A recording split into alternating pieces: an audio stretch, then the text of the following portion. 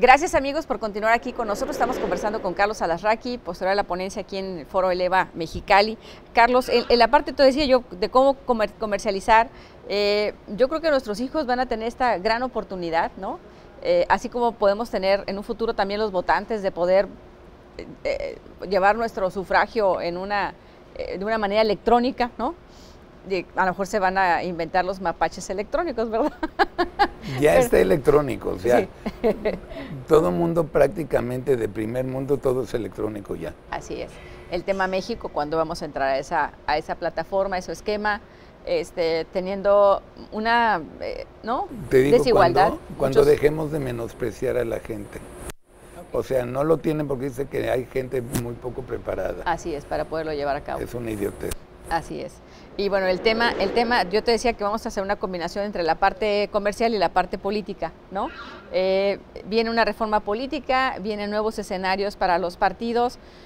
Eh, en, nuestra época pues había dos sopas, ¿no? O eras PRI o eras PAN, y de repente pues había, es más, hubo una elección presidencial donde hubo un solo candidato.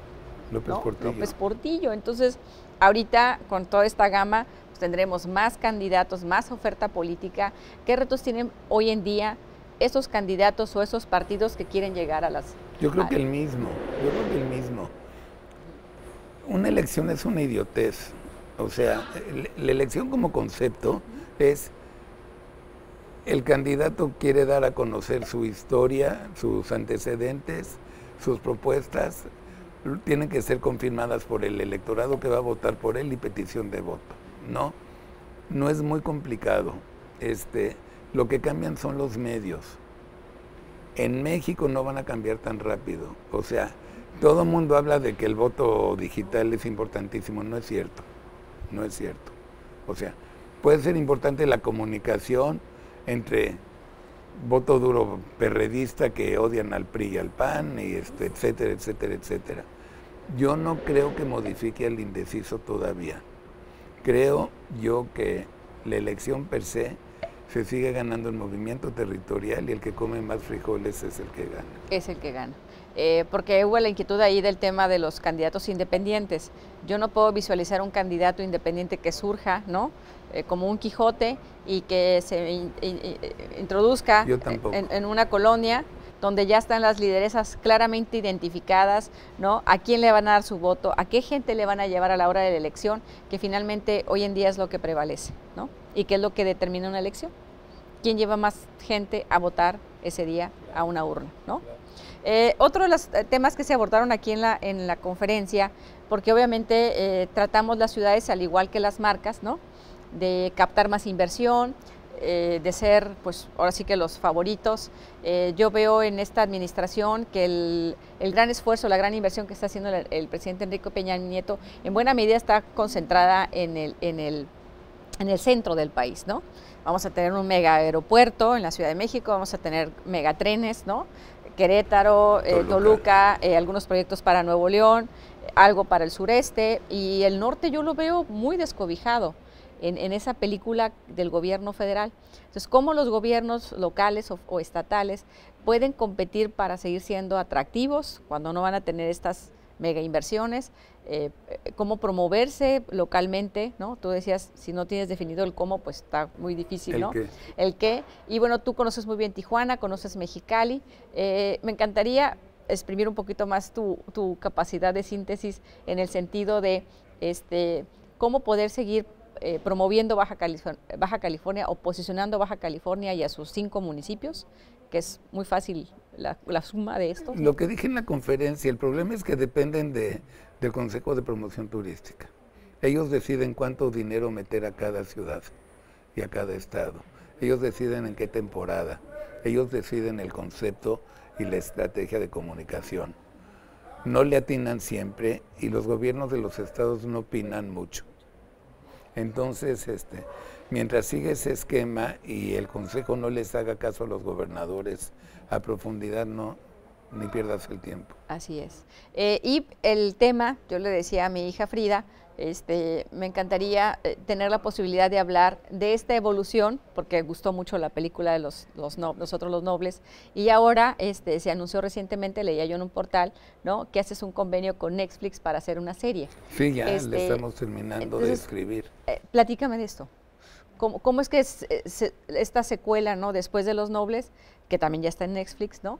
Este, puedas eh, dentro de la empresa, porque también es otro, otro, otro tema muy importante, como Alasraki, como lo conocimos hace 15 o 20 ya no, Ya, es ya no es, ya es otro, ya, evolucionaste afortunadamente. Sí, sí, sí, sí, Mira, lo de Netflix es una historia padrísima porque somos la primera empresa internacional que contratan en el mundo para hacer una serie. Nosotros producimos y realizamos, pero el dinero nos lo dan ellos. Entonces seguimos sus reglas. Es una serie de tipo House of Cards de 13, de 13 horas y la historia es una drama comedia. Papá se muere, papá rico se muere en Morelia probablemente, va a ser, y este y Luis Gerardo Méndez, el que le hizo de Javi, tiene una hermana que no sabemos si es argentina o venezolana, y este, él maneja el equipo de fútbol. No es Javi el tonto, es Javi inteligente pero soñador y medio pachecón. Y es una historia buenísima y muy entretenida. Entonces vamos a hacer eso. Empezamos a filmar, si Dios quiere, a mediados de noviembre, espero, porque ya nos está fregando un Netflix que, que les arrancamos. Y luego en julio arrancamos una película de Gary, que también este, ya está un largometraje.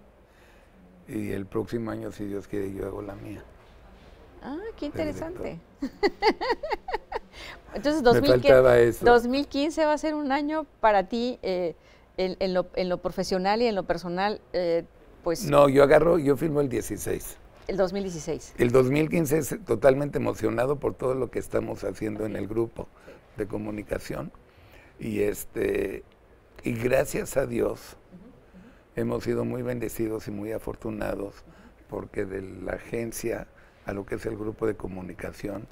Hemos crecido muchísimo, tenemos nuevos socios, cada socio es director general de cada empresa, ya somos un consejo de administración, yo lo presido, este, ya nos portamos bien. bueno, una de las de la evolución en la parte de las empresas familiares, ¿no?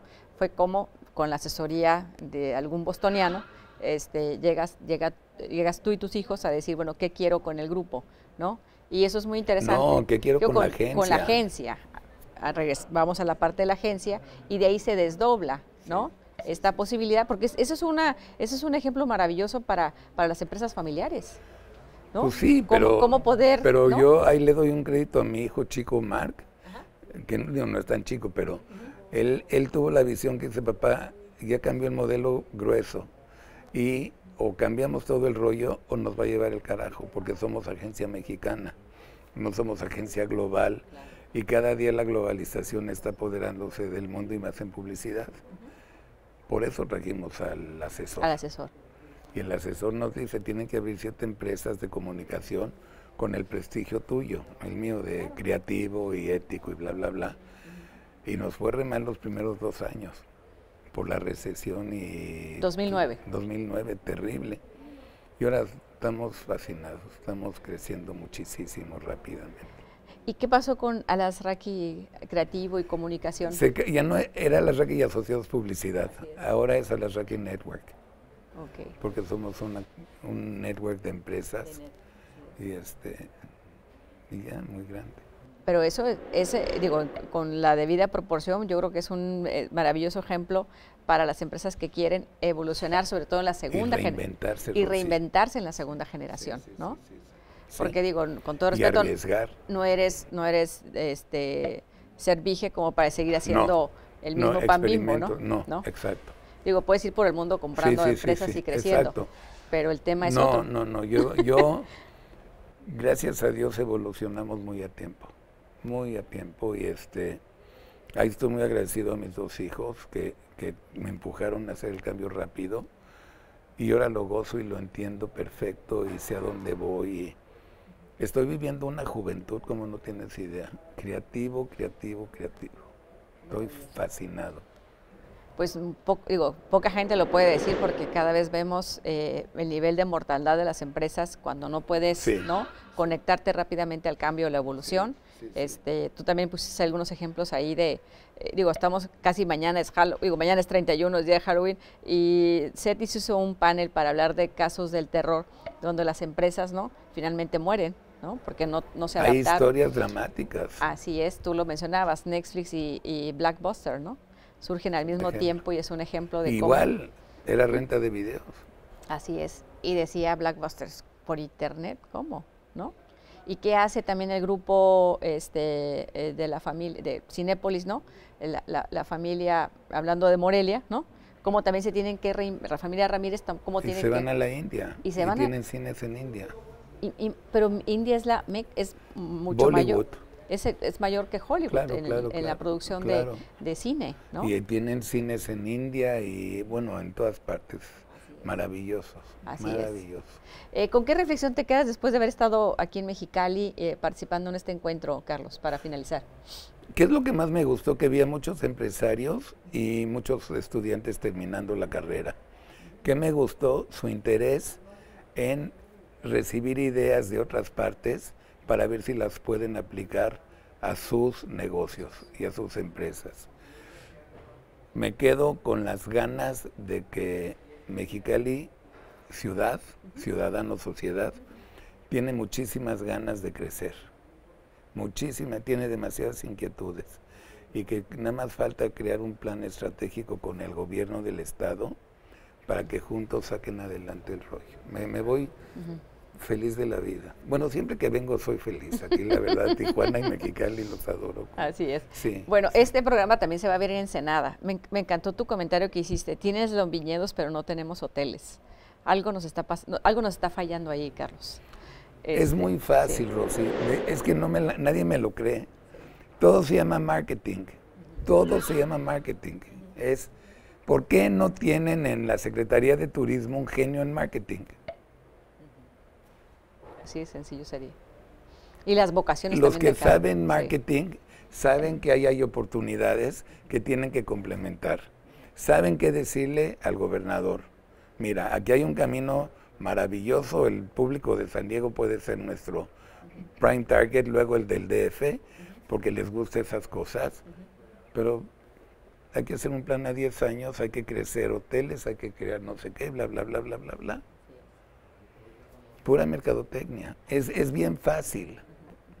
Pero, que por cierto, en el aeropuerto de Tijuana vi este la ruta de los viñedos y era una foto de viñedos. Y dices, ¿cuál ruta? Y what are they talking about? Bueno, pues hay que ¿no? ponernos eh, las pilas, las pilas y ordenar y ordenar ese tema. Carlos Arraqui, muchísimas gracias por habernos acompañado. Gracias por invitarme. No, al contrario, gracias a ti por tu tiempo. Haremos lo propio ahora que estemos en la Ciudad de México. Hicimos el compromiso este, de, seguir conversando de estos y otros temas, ¿no? Sí, está prometido. Nos veremos en el DF. Gracias. Ah, no, al contrario. Muchas gracias, amigos del Vamos a ir a mensajes y volvemos con Mari Carmen Cortés después de estos mensajes.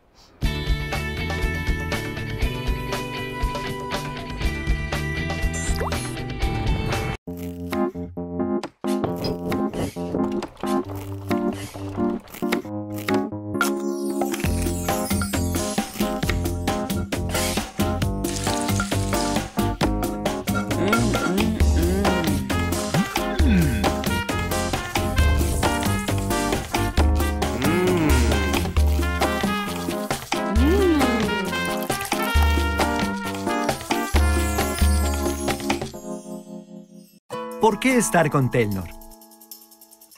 Porque te ofrecemos la conexión e infraestructura más confiables. Puedes llevar tu negocio a donde vayas con las soluciones cloud. Te brindamos soporte técnico las 24 horas, los 365 días del año.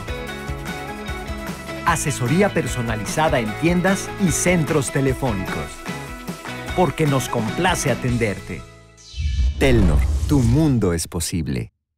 Si sabes que quieres estudiar en la mejor preparatoria de la región, el CETIS es tu mejor opción.